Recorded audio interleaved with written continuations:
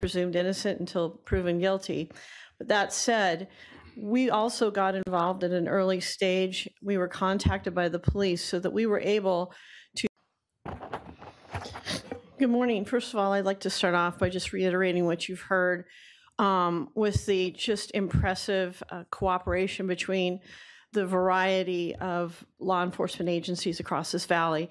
We live in a very large, geographically large county, and we have many, many dozens of police agencies. And the fact that it was seamless between Phoenix and Scottsdale and Surprise, DPS's efforts as well, um, is incredibly impressive to capture somebody who has committed such dangerous and violent offenses. I do have to say that people are presumed innocent until proven guilty. But that said, we also got involved at an early stage. We were contacted by the police so that we were able to send our attorney to the initial appearance court where a bond was set.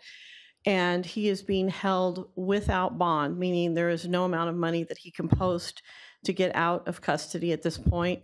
We will be reviewing charges uh, later today and uh, issuing charges at, at a timely fashion. I just want to say that I know there's been discussion about New York wanting to extradite this individual, and I'm sure this is not aimed at the New York Police Department at all. I know they did a hard job and they did a good job, but we will not be agreeing to extradition. I've instructed my extradition attorneys not to agree to that. We're going to keep him here. These are mandatory prison sentences.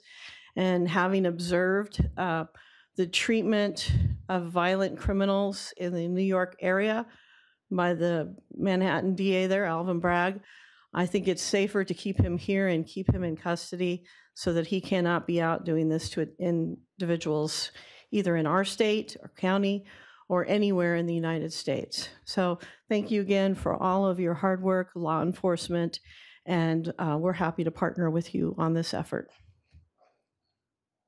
Involved at an early stage, we were contacted by the police so that we were able to many, many dozens of police agencies, and the fact that it was seamless well um, is incredibly impressive to capture somebody who has committed